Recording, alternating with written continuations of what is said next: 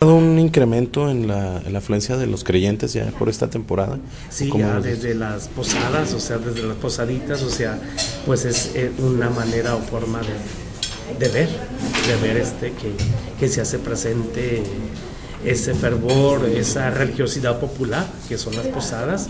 Recordemos cómo las posadas surgen aquí en, en México y se extienden para todo el mundo, ¿no? Entonces, pues es una gran bendición para nosotros, eso.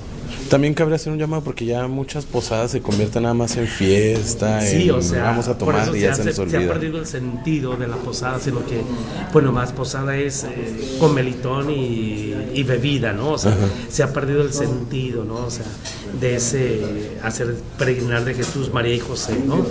Pero pues sí, somos presas de, la mercadotecnia, presas de todo eso, pero sigue habiendo en las colonias, en los barrios, sigue habiendo esas... Eh, eh, que se reúnen las familias, las, las, colonias, para las cuadras, las manzanas, para hacer su posada y pedir a Jesús María y José que nos siga dando fe y esperanza a nosotros.